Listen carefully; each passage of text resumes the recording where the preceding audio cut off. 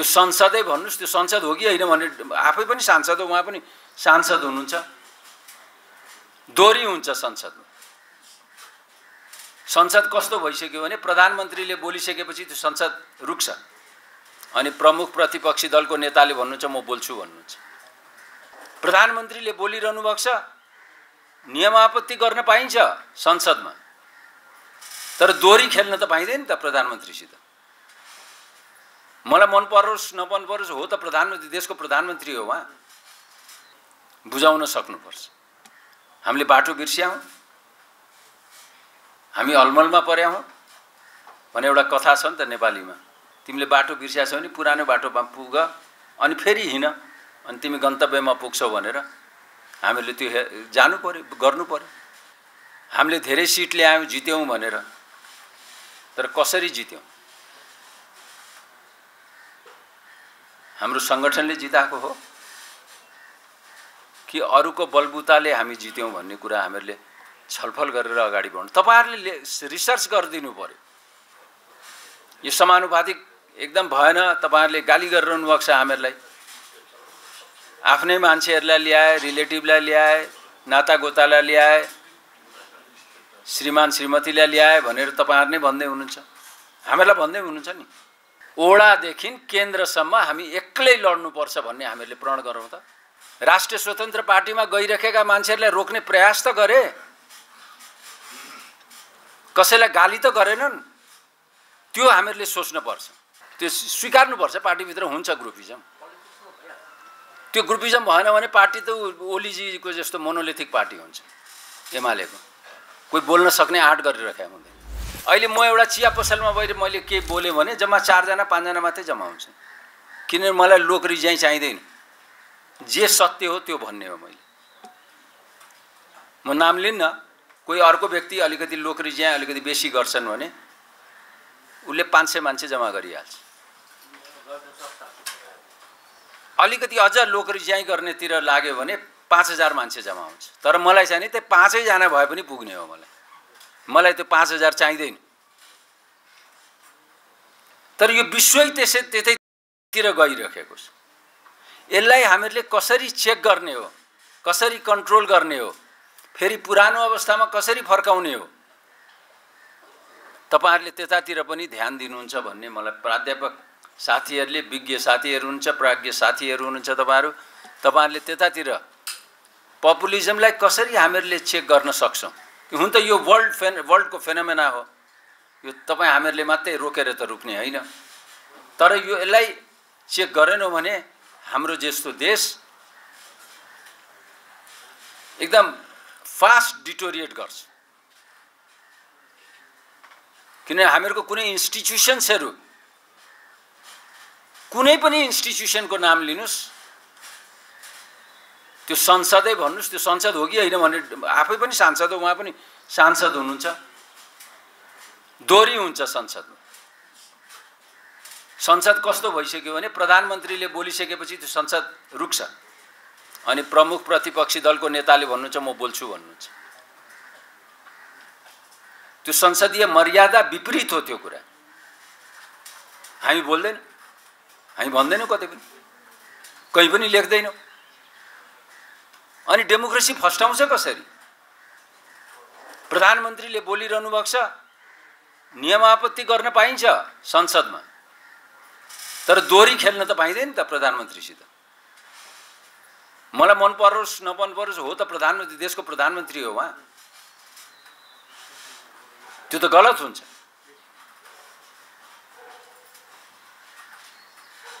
त्यो यो कुराहरू तपाईँको लोक रिज्याइले गर्दा किन गर्दैछन् भन्ने त्यही लोक रिज्याइको कुरा आयो। तपाईँको चारैतिर हेर्छन् त्यो त टेलिभिजनमा। हो मेरो मा मानिसले मेरो पार्टीको साथीले यस्तो बोल्यो। त्यही नै हो अरू त केही होइन। ठिक गर्यो यसले प्रधानमन्त्रीलाई कटघरामा उभ्याइदियो। ए उभ्याउने ठाउँ छ नि त। क्वेसन्सहरू छ सोध्ने बेला हुन्छ समय हुन्छ। लोक रिज्याइले एउटा सम्म त ठिकै होला। तर नेपाली कङ्ग्रेस पनि के भइरहेको छ भने हामीले आफ्नो चरित्र नेपाली कङ्ग्रेसको जुन चरित्र थियो त्यो चरित्र कता कता हामीहरू अल्मलिएको हो कि? भन्ने मलाई लाग्छ। त्यो अल्मलिएको किन भनेदेखि धेरै व्यवहारवादी भयौँ कि हामी भन्ने लाग्छ।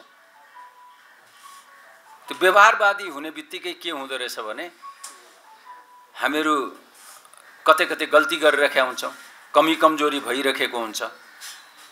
हाम्रा नेपाली कङ्ग्रेसको इतिहास हेर्नुभयो भने त गौरवमय इतिहास छ नि।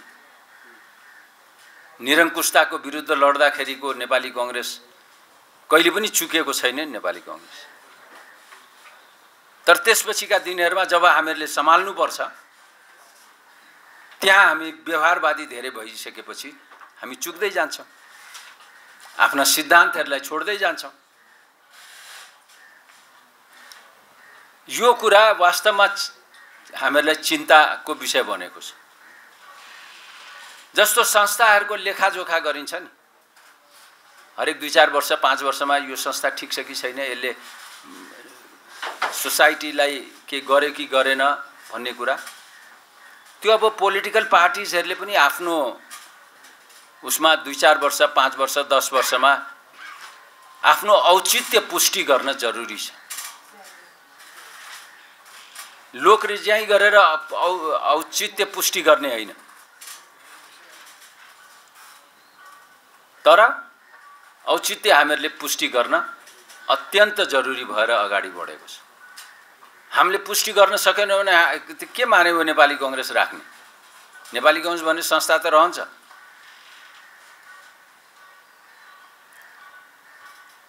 नेपाली कङ्ग्रेसका केही आफ्ना बेसिक फन्डामेन्टल प्रिन्सिपल्सहरू छन्। तिनीहरू अरू पार्टीभन्दा हामीहरू किन भिन्न छौँ भनेर हामीहरूले पिपुलमा बताउन सक्नुपर्छ। बुझाउन सक्नुपर्छ। हामीले बाटो बिर्स्यौँ हामी अलमलमा पर्या हौँ भने एउटा कथा छ नि त नेपालीमा। तिमीले बाटो बिर्स्या छौ भने पुरानो बाटोमा पुग अनि फेरि हिँड अनि तिमी गन्तव्यमा पुग्छौ भनेर हामीले त्यो जानु पऱ्यो गर्नु पऱ्यो त्यो बिपीले के गर्नुभएको थियो हेर्नुहोस्। गणेश मान्जीले के गर्नुभएको थियो सुवर्णजीले के गर्नुभएको थियो?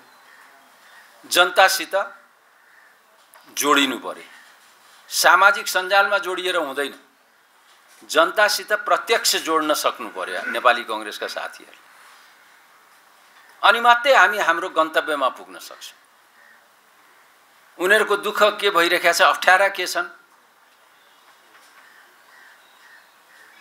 किन भएको छ भन्ने कुरा हामीले बुझ्न सक्नुपर्छ। उनीहरूको पिर मार्का बुझेर त्यो पिर मार्कालाई हामीहरूले कसरी समाधान गर्नेतिर हामी जान सक्नुपर्छ।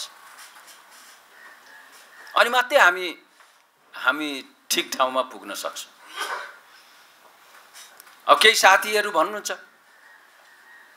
हामीले धेरै सिट ल्यायौँ जित्यौँ भनेर तर कसरी जित्यौँ?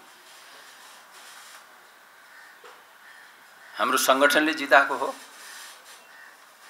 कि अरूको बलबुताले हामी जित्यौँ भन्ने कुरा हामीहरूले छलफल गरेर अगाडि बढ्नु। तपाईँहरूले रिसर्च गरिदिनु पऱ्यो त्यो तपाईँहरूको जिम्मेवारीमा आउँछ।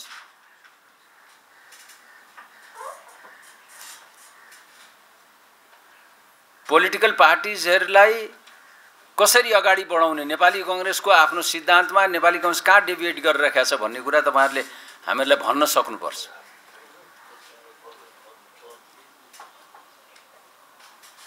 त्यो त रिसर्च गरेर मात्रै आउँछ नि त। जानु पऱ्यो साथीहरूसित बुझ्नु पऱ्यो अनि मात्रै हामीहरूले बुझ्न सक्छौँ कसरी अगाडि बढ्छौँ भनेर। मलाई त लाग्छ हामी अहिले जुन संविधान छ धेरै यो संविधानमा अहिले छेडखानी यताउति गर्ने भन्दा सुधार कसरी गर्न के के कुराहरूमा सुधार गर्न सकिन्छ त्यतातिर हेरौँ हामी। एकदम इमिडिएटली के गर्ने हो? गर्नुपर्छ पर्दैन। जस्तो तपाईँहरूले नै भनिरहनु भएको छ निर्वाचन एकदम खर्चिलो भयो भनेर तपाईँहरू भन्दै हुन्छ यो समानुपातिक एकदम भएन तपाईँहरूले गाली गरिरहनु भएको छ हामीहरूलाई। आफ्नै मान्छेहरूलाई ल्याए रिलेटिभलाई ल्याए नातागोतालाई ल्याए श्रीमान श्रीमतीलाई ल्याए भनेर तपाईँहरू नै भन्दै हुनुहुन्छ। हामीलाई भन्दै हुनुहुन्छ नि। त्यसलाई के गर्ने? कसरी चेन्ज गर्ने? कसरी बेटर बनाउने? तपाईँहरूले छलफल गर्नु पऱ्यो हामीहरूलाई दिनु पऱ्यो निर्वाचनमा आमूल हामीहरूले परिवर्तन गर्न सक्यौँ? म त मेरो त आफ्नो बेग्लै छ। प्रत्यक्ष निर्वाचनै राख्ने किन संसदीय प्रणाली हो प्रत्यक्ष निर्वाचनबाटै अगाडि जानुपर्छ। तर यो एक सौ पैँसठीलाई दुई सौ चालिस गरौँ। बिचमा भएको थियो नि यो संविधान सभासम्म दुई सौ चालिस थियो। त पचहत्तर सिट बढ्ने रहेछ हाम्रो। पैँसठीबाट दुई सौ चालिस गर्दा। अनि एक सौ दस हो। बाँकीलाई पच्चिस दस पैँतिसलाई समानुपाति उसमा हालिदिनुहोस् र अप्पर हाउसमा। दुई सौ चालिसमा एक सौ पैँसठी जस्तो छ त्यस्तै राख्नुहोस्। जस्तो भनेको प्रत्यक्ष निर्वाचन। तर महिला र दलितलाई चुनाव लडाउने प्रत्यक्षैबाट चुनाव लड्ने रोटेसन वाइज। त्यो मेरो आफ्नो सोचाइ हो। अब यो के हुन्छ बेटर के हुन्छ तपाईँहरू सोच्नुहोस् गर्नुहोस्। तर यो स्वीकार्य हुन्छ कि हुँदैन भन्ने कुरा त संसदको दुई तिहाईले पास गर्नुपर्छ मैले पास गरिदिएर त हुँदैन। हामी नेपाली कङ्ग्रेसले पास गरेर मात्रै हुँदैन। दोस्रो कुरा म जिल्ला जिल्ला जाँदाखेरि मैले के पाएँ भने साथीहरूको धेरै ठुलो गुनासो छ। प्रजातन्त्रवादी साथीहरूको त झन् धेरै ठुलो गुनासो दाजु एक्लै लड्ने भन्नुहोस् है तपाईँहरू भनेर भन्नुहुन्छ। ओडादेखि केन्द्रसम्म हामी एक्लै लड्नुपर्छ भन्ने हामीहरूले प्रण गरौँ त। हेर्नुहोस् बिस्तारै बिस्तारै आज हुँदैन होला।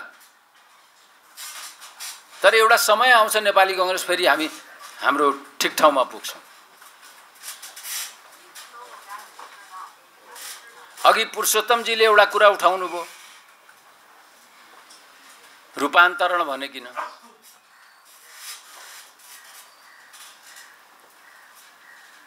कोही घुम्दा पनि नघुम्ने अनि त्यसलाई सपोर्ट गरिरहने घुम्न गएकोलाई विरोध पनि गर्ने किन घुमिस् भनेर?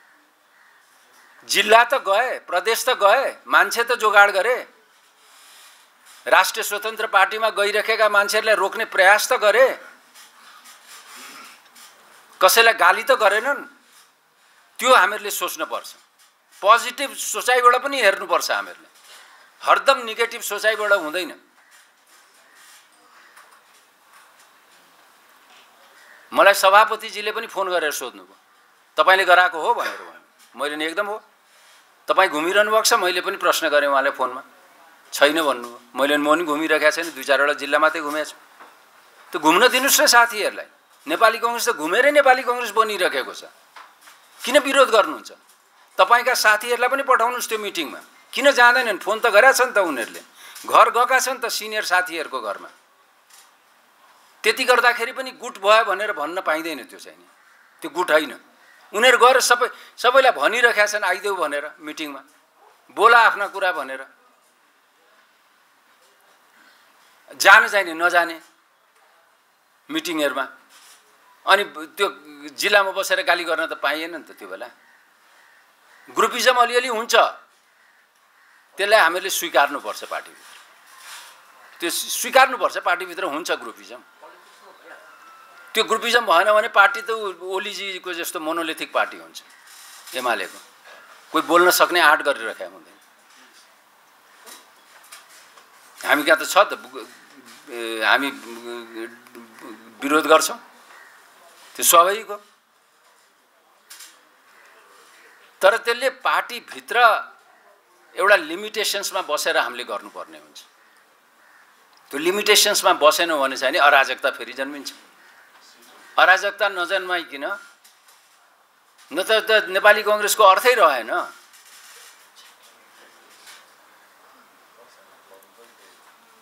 त्यसकारण नेपाली कङ्ग्रेस अलिकति शिथिल पनि भएको छ। विधि विधानलाई हामीहरूले अलिकति मिचेका पनि छौँ काम पनि भइरहेको छैन। जिल्ला जिल्लामा साथीहरू गइरहेका पनि छैनन्। पार्टीले पनि खटाएको छैन। अब पार्टीले खटाउँदैन भनेर जाँदै नजाने त हुँदैन होला। त्यसकारण नेपाली कङ्ग्रेस जतिसुकै जे भन्यो भने पनि हामीहरूको एउटा सिद्धान्त छ आदर्श छ। त्यसमा टेकेर हामी अगाडि बढ्नुपर्छ र त्यसैलाई आधार मानिकन जनता बिच हामी जान सक्यौँ भने हामी पुरानो अवस्थामा नेपाली कङ्ग्रेसलाई फेरि फर्काउन सक्छौँ भन्ने मलाई लाग्छ। एकपटक फेरि कुलप्रसादजीको पुस्तक दुईवटा पुस्तक विमोचन गर्ने मौका पाएँ। त्यसको लागि उहाँलाई म मुरी मुरी धन्यवाद दिन चाहन्छु र जुन डिस्कसनहरू तपाईँको पुरुषोत्तमजीले सुरु गर्नुभयो तुलसीजीले वेदको बारेमा एक्सप्लेन गर्नुभयो कुलप्रसादजीले जुन कुराहरू राख्नुभयो तपाईँको बडुजीले जुन कुराहरू राख्नुभयो अत्यन्तै रमाइलो मात्रै होइन ज्ञानवर्धक पनि छ भन्दै म बिदा लिन्छु। धन्यवाद धन्यवाद